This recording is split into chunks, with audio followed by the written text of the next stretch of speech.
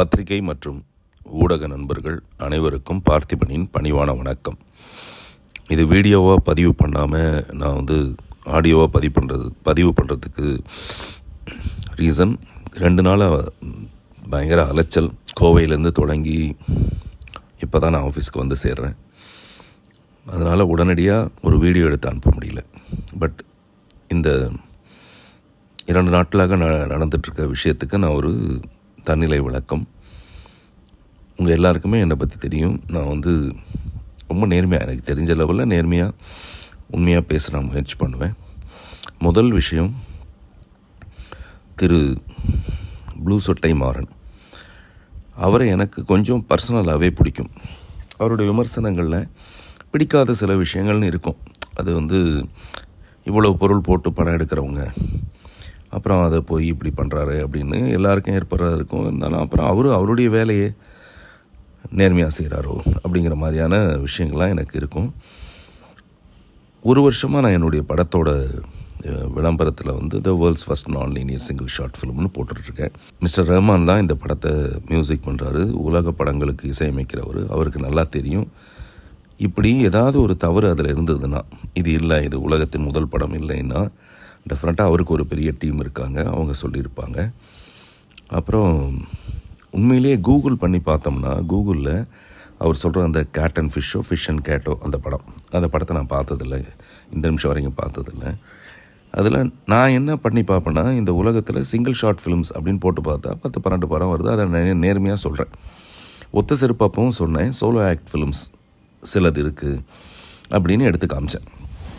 இதில் அந்த மாதிரி வரிசையில் இந்த படம்னு சொன்னேன். நான் அப்போ ஒன்றும் சோலோ ஆக்ட் ஃபிலிம் இதுதான் உலகத்தில் முதல் படம் நான் சொல்லலை. பத்து படம் பன்னெண்டு படம் இருக்குது அந்த வரிசையில் இந்த படம் அப்படின்னு சொன்னேன். அதே மாதிரி இந்த படத்துலேயும் சிங்கிள் ஷார்ட் ஃபிலிம்ஸ்னு போட்டு பார்த்தா சில படங்கள் வருது. ஓகே சிங்கிள் ஷார்ட் ஃபிலிம்ஸ் மாதிரி நான் லீனியர் சிங்கிள் ஷார்ட் ஃபிலிம்ஸ் இருக்கா அப்படின்னு போட்டு பார்த்தா அந்த மாதிரி எந்த படமும் வரல. அன்னைக்கும் இல்லை இன்றைக்குமே அது வரலை. ஆனால் இப்போ நான் ஏதோ ஒரு படம் பார்த்துருக்கேன். அந்த படத்தோட பேர் எனக்கு எப்படி தெரியும்? இப்போ மிஸ்டர் மாறன் வந்து ஒரு படம் பார்த்துருக்காரு. அந்த படத்தோட பேரை போட்டு பார்த்து இந்த படம் நான்லீனியரா இல்லையான்றது எனக்கு எப்படி போட தெரியும்? எனக்கு இல்லை என்னை சார்ந்தவங்க யாருக்குமே.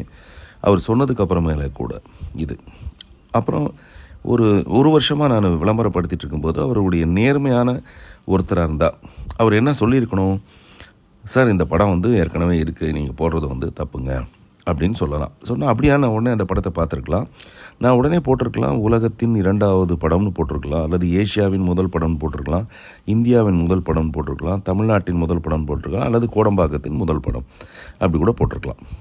இதுக்கெல்லாம் நான் கொஞ்சம் கூட தயங்காதவன். இந்த கிரெடிட் யாருடைய கிரெடிட்டே எடுத்துக்கிட்டு மக்களை நான் ஏமாத்துறதுக்கு நான் என்ன வேறு என்ன வியாபாரம் பண்ணுறேன் இதில்? ஸோ விளம் அவருடைய விமர்சனம் அவர் எதுவாக வேணாலும் இருக்கலாம்.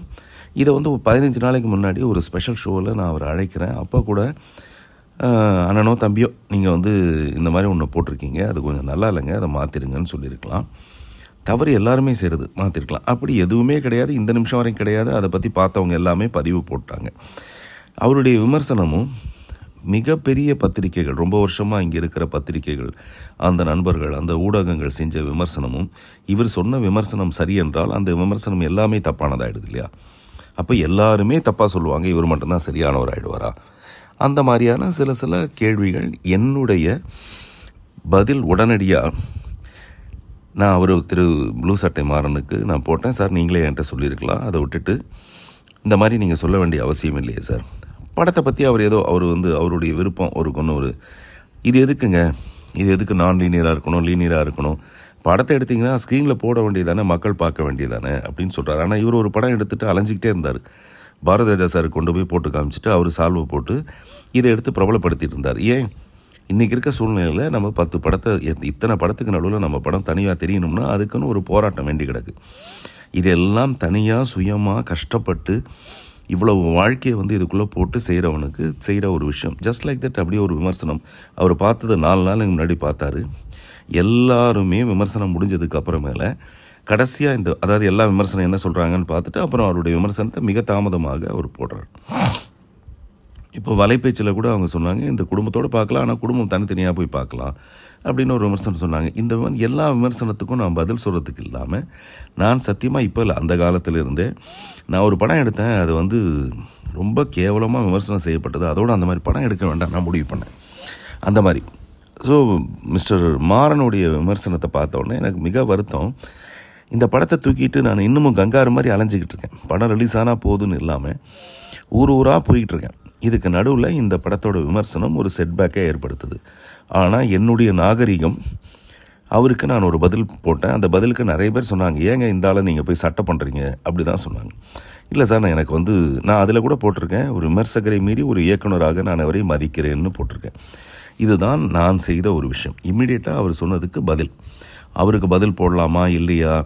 அவரை வந்து நம்ம நெக்லெக்ட் பண்ணிடலாமா? இக்னோர் பண்ணிடலாமா? அப்படிலாம் இல்லாமல் அவரை மதித்து போட்டது. இது வந்து என்னுடைய தன்மை. அதே மாதிரி உலகத்துக்கு நான் மறுபடியும் ஒரு தடவை சொல்லிக்கிறேன். என்னுடைய பழைய பேட்டி எல்லாமே பார்த்தீங்கன்னா தெரியும். நான் என்னுடைய பரபரப்பான ரசிகர் மன்றங்களை எல்லாம் ரொம்ப ஆரம்பத்திலேயே பார்த்திபன் மனிதநேய மன்றம்னு மாற்றினேன் பார்த்திபன் மனிதநேய மன்றம் மாற்றினோடனே என்னுடைய ரசிகர் மன்றங்களோட கூ- கூட்டம் வந்து குறைஞ்சி போச்சு. மன்றங்களோட எண்ணிக்கையும் இல்லை.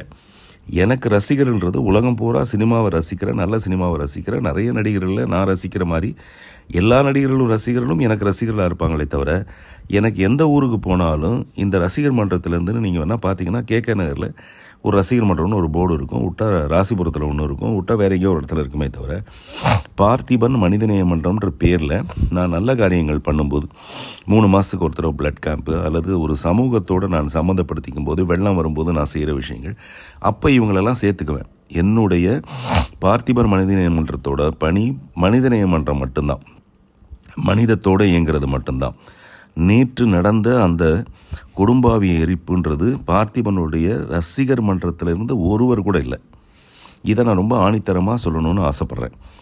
ஏன்னா இப்போ பிரச்சனை என்ன ஆயிடுச்சுன்னா பார்த்திபனுக்கு உண்மையிலேயே இப்போ மிஸ்டர் அந்தணன் வந்து ரொம்ப நேர்மையாக பொதுநலமாக ரெண்டு பேருக்கு நடுவில் பார்த்திபன் அவ்வளோ கஷ்டப்பட்டு எடுத்திருக்காரு. அதை சொன்னால் கோவம் தான் வரும். பட் இப்படி ஒரு விமர்சகரை இப்படி கேவலப்படுத்துறது இப்படி தப்பு அப்படிங்கிறது மிக மிக நான் ஒத்துக்கிற ஒரு விஷயம். அதில் ஒன்றே ஒன்று பார்த்திபனுடைய ரசிகர்கள். அப்புறம் அவர் என்ன கை கட்டிட்டு நிற்கிறாரா நேற்று நான் வந்து விழுப்புரத்தோட திரும்பி வரதாக இருந்தது. விழுப்புரத்தில் ஒரு ஷோ வந்து கட் ஆயிடுச்சு என்ன பண்ணுறதுன்னு தெரியாமல் அப்படியே பாண்டிக்கு திருப்புங்க வண்டியை நான் பாண்டிக்கு திருப்பினேன். பாண்டியில் வந்ததுக்கப்புறம் தான் எனக்கு தெரியும் இப்படி ஒரு நிகழ்ச்சி நடந்ததுன்னு. அவர் நடிகர் சங்கத்தோட தலைவர் என்னுடைய பார்த்திபன் மனிதநேய மன்றத்தோட மெம்பர் கிடையாது. பார்த்திபன் மனிதநேய மன்றத்துக்குன்னு இப்போ ஒரு பெரிய மெம்பர்ஷிப்பாவோ அது யாருமே நாங்கள் எடுத்துக்கிறதாவோ நீங்கள் வேணால் நல்லா கவனித்து பார்த்தீங்கன்னா அந்த மாதிரி ரசிகர் மன்ற ஷோ அந்த மாதிரிலாம் எதுவுமே கிடையாது. எனக்கு பின்னாடி வெரி ஃபியூ ரசிகர்கள் மட்டுமே ரசிகர்னால் ரசிகர் மன்றத்தில் மனிதநேய மன்றத்தில் இருப்பாங்களே தவிர வெறி பிடிச்ச ரசிகர்கள் அந்த மாதிரிலாம் யாருமே கிடையாது. இங்கே வந்ததுக்கப்புறம் இதை கேள்விப்பட்டு நான் போகும்போதே நேராக மாலுக்கு தான் போனேன். மாலுக்குள்ளே போய் அவரை கூப்பிட்டு தனியாக இந்த மாதிரி சார் அவர் ரொம்ப பெருமையாக அவர் சொன்னார். நான் வந்து அவர் அவர் கூட இருக்கவங்க எல்லாரையும் கூப்பிட்டு பக்கத்தில் வந்து ஒரு ஒரு அவர் வந்து நடிகர் சங்கத்தோட தலைவர் ப்ளஸ் தயாரிப்பாளர் படம் தயாரிக்கிற ஒரு நடிகர் அந்த மாதிரியே தவிர எனக்கு நீண்ட காலமாக வந்து நான் பாண்டிச்சேரிக்கு போனால் அவர் உதவிகள் செய்வார். இந்த மாதிரி விஷயம் சொன்னோன்னே நான் சொன்னேன் ஏன் சார் இந்த மாதிரிலாம் பண்ணீங்க? இது ரொம்ப கண்டிக்கத்தக்க விஷயம். அதை நீங்கள் இப்படிலாம் பண்ணியிருக்கவே கூடாது. எனக்கு எப்போவுமே இது இப்போ இல்லை. எப்போவுமே இந்த குடும்பாவி எரிப்புன்றது எனக்கு வந்து என்னால் இப்போவும் அது மிகப்பெரிய வன்முறை. மனசை ரொம்ப கலங்கடிக்கிற கஷ்டப்படுத்துகிற ஒரு விஷயம். நீங்கள் அதை பண்ணியிருக்கக்கூடாது அதுக்குள்ளே கூட்டம் கூடிடுச்சு. அவரை பத்து பேருக்கு நடுவில் நான் வந்து மேடையில் கேட்கும்போது நான் வந்து உடனே இல்லை இல்லை நீங்கள் செய்தது தவறு தான் அவரை கண்டிக்கிறதுன்றது அவருக்குன்னு இருக்கிற ஒரு ஒரு விஷயம் வந்து அங்கே ஏதோ ப்ராப்ளம் ஆகுன்றதுக்காக தனிப்பட்ட முறையில் அவரை கண்டித்தேன் உண்மையிலேயே கண்டித்தேன் அவர் என்ன சொன்னார்னா சார் நான் எடுத்த படத்துக்கு வந்து விமர்சனம் பண்ணுறதுக்கு மூணு லட்ச ரூபா பணம் கேட்டார் சார். அந்த காண்டு அந்த கடுப்பில் தான் சார் நான் இப்படி பண்ணேன் அப்படின்னாரு. அது உங்கள் சொந்த விஷயங்க. அப்புறம் இதை வந்து பார்த்திபன் ரசிகர்கள் செஞ்சாங்கன்றது திசை மாறும்னு மேரு மேபி அவருக்கே கூட தெரியாமல் இருந்திருக்கலாம்.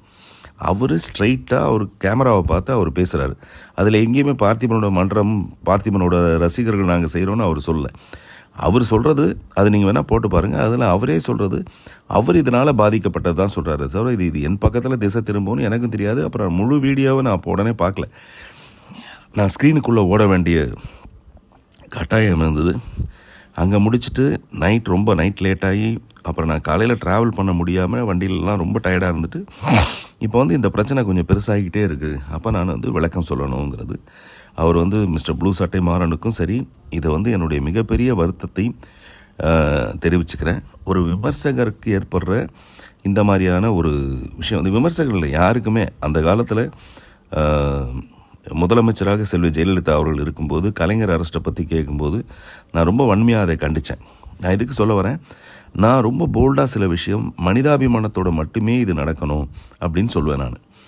அந்த மனிதநேயத்தை மட்டும்தான் நான் யோசிக்கிறேன் அதோட மட்டும்தான் நான் வாழ்ந்திருக்கேனே தவிர இந்த மாதிரி ஒரு செயலால் இந்த செயலால் நம்ம கீழ்த்தரம் தான் ஆகிறோமே தவிர டெஃபினட்டாக இந்த செயலால் எந்த மேன்மையும் அடைய போகிறதில்ல அது எனக்கே நல்லா தெரியும். அதனால் இந்த செயலை நான் வன்மையாக கண்டிக்கிறேன். என்னால் மன ம உடனே மிஸ்டர் மாறணும். அவர் வந்து ரொம்ப சர்க்காஸ்டிக்காக எனக்கு வந்து ஒரு இது போட்டிருக்காரு ஒரு ட்வீட் போட்டிருக்காரு. இது கூட விமர்சனம் விமர்சனமாகவே இல்லாமல் விமர்சனத்தை முடித்துட்டு தனியாக அவர் ஒரு ட்வீட் போடுறாரு. இதெல்லாம் வந்து எனக்கு வருத்தம். நான் வந்து ஒரு படத்தை எடுத்துக்கிட்டு நாலாவது நாள் இந்த படம் வந்து என்னவா கலெக்ட் பண்ணும் கடங்காரங்களோடவே படத்தை ரிலீஸ் பண்ணுறதுல கஷ்டப்பட்டுக்கிட்டு இருக்க எனக்கு. இது ஒரு செட்பேக் ஏற்படுத்துதுன்னு வச்சுங்களேன் வேறு ஒரு தயாரிப்பாளர் தூக்கில் தொங்கிடுவார். இதோட பிரச்சனைகள் வந்து பெரிய பிரச்சனைகள். விமர்சனங்கிற பேரில் டெஃபினட்டாக இந்த படம் நல்லா இல்லை நீங்கள் சொல்லுங்கள் அதை பற்றி பிரச்சனை இல்லை. நீங்கள் நல்லா நான் அதுக்காக தான் சொன்னேன். நீங்கள் போய் நான் என்னுடைய பெருந்தன்மை ப்ளூ சட்டை மாறன் அவர்களின் விமர்சனத்தை நீங்கள் படிங்க. படிச்சுட்டு அவர் சொல்கிறத கேளுங்க. அதுக்கப்புறம் என் படத்துக்கு போங்கன்னு பெருந்தன்மையாக சொல்லியிருந்தேன். அங்கே போய் பார்த்துட்டு வந்தவங்க தான் இவர் சொல்கிற மாதிரி எதுவுமே கிடையாது அங்கே அந்த பேசுகிற ஒரு துணி ஒன்று இருக்குது அது வந்து அவர் எல்லாருமே இரிட்டேட் ஆகுது. இதில் நேற்று நடந்த அந்த கொடுமையான சம்பவம் அதை வந்து நான் மனிதாபிமானமான விஷயமா மதிக்கலை. அது யார் செஞ்சாலும் தப்பு தான் அதுக்கு மனப்பூர்வமாக நான் மன்னிப்பு கேட்டுக்கிறேன். உண்மையிலே மனசோட நான் வந்து என்னுடைய வருத்தத்தை தெரிவிக்கிறேன். இது வந்து இனிமேல் தொடரக்கூடாது.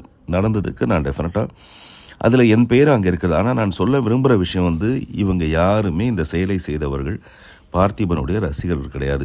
இப்படி ஒரு கூட்டம் எனக்கு இருந்தால் டெஃபினட்டாக ஏன் நான் இவ்வளோ கஷ்டப்பட்டுருக்கணும்? நாலு கமர்ஷியல் படம் ஒரு ஆக்ஷன் படம் பண்ணிவிட்டு இந்த கூட்டத்தை நான் அப்படியே தக்க வச்சுருப்பேன். அதனால் முதல்ல பார்த்திபன் ரசிகர்கள் இதை செய்யலை. இவரால் மிஸ்டர் மாறனால் பாதிக்கப்பட்ட யாரோ ஒரு தயாரிப்பாளர் அவர் இதுக்குள்ளே இந்த மாதிரியான அவருடைய எக்ஸ்ப்ரெஷனை காமிச்சிருக்காரு. அதை வந்து நான் அவர்கிட்ட தனிப்பட்ட முறையிலையும் கூப்பிட்டு இதுதான் சொல் சொல்லிட்டேன். அப்புறம் மிஸ்டர் நந்தனன் போல் ஒரு பொது நலமாக அவங்க திருப்பி திருப்பி கட் பண்ணி அவர் என்னை கண்டிக்கிற மாதிரியான விஷயங்கள் மட்டும் இருந்தது. முழுக்க இப்போ அவர் என்ன பேசினாருன்றதை நான் முழுக்க கேட்டேன். இந்த பெயின் எவ்வளோ கஷ்டம்? எல்லாருமே தெரியும். பத்திரிகை நண்பர்களுடைய ஊடக நண்பர்களுடைய சப்போர்ட்னால தான் இவ்வளோ இந்த படத்துக்கு ஒரு ஆரம்பம் கிடைச்சது. அதனால தான் நாலு நாளைக்கு முன்னாடியே நான் படத்தை போட்டேன். அந்த மாதிரி என்னுடைய பெயின் சொல்லி மாளாது. ஆனால் இந்த உருவ பொம்மை இதெல்லாம் வந்து அந்த குடும்பத்தை சேர்ந்தவங்களுக்கு எவ்வளோ கஷ்டமாக இருக்கும். மிஸ்டர் மாறனை கூட விட்டுருங்க. அவர் இந்த மாதிரி நிறைய சவால்களையும் எதிர்ப்புகளையும் சந்திக்கும் துணிவு வாய்ந்தவர் அவர். பட் அவங்க குடும்பத்தை சேர்ந்தவங்களுக்கு அதை பார்க்கும்போது மனசு ரொம்ப வேதனையாக இருக்கும். அதனால் நான் மன்னிப்புன்னு கேட்குறேன்னு சொல்கிறது அவங்க குடும்பத்தை சேர்ந்தவங்கக்கிட்ட என்னுடைய மனப்பூர்வமான மன்னிப்பை கேட்டுக்கிறேன். விரைவில் இது சம்மந்தமான இந்த படம் வந்து ஒரு பெரிய வெற்றி அடைஞ்சிருக்கு.